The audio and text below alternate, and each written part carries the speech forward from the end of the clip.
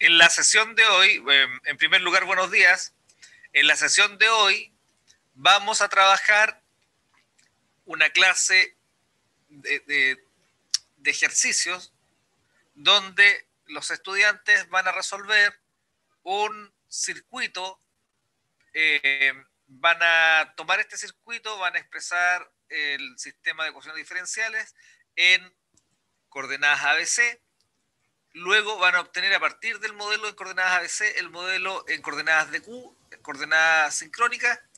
Y finalmente van a obtener un modelo en coordenadas alfabeta, las coordenadas eh, alternas bifásicas. Finalmente, para cada coordenada van a dibujar el circuito equivalente en el marco de referencia de Q y en el marco de referencia alfabeta.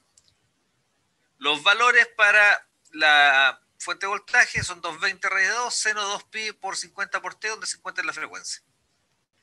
La inductancia 1 es 10 milihenrios, inductancia 2 5 milihenrios, condensador 100 microfaradios y resistencia 10 ohm. Todo trifásico. Todo trifásico. Este es un circuito trifásico.